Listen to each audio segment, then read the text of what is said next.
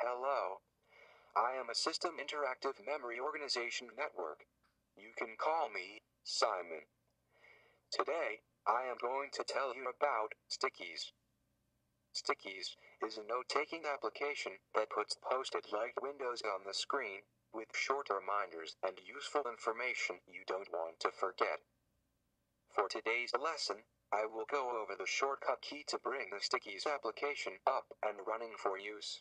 Also, I will go over a few features that will help you in your journey to becoming a master at sticky notes. First, press the Shift, Apple, and Y key. This will load the application. Let's start with something simple. You can make multiple stickies by clicking the header and dragging the box. You can also click the lower right corner to increase or decrease its size. Click the upper left box to close the sticky note. Notice, when you do this you are prompted. It should say, Are you sure you want to discard the stickies note? Click Don't Save. Notice, a sticky is still remaining.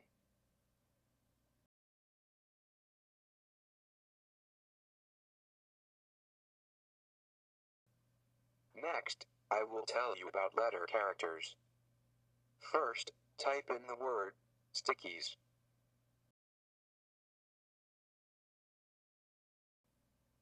If you want the next word to be bold, just right click on the note.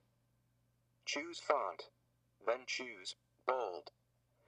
Now, type in the word stickies again. Notice, it is in bold now. If you want the word to be italic or slanted, just right click on the note. Choose font, then choose italic. Now, type in the word stickies again. Notice, it is italic now. Also, if you want the word underlined simply highlight the word. Right click. Choose font. Underline. Now the word stickies is underlined.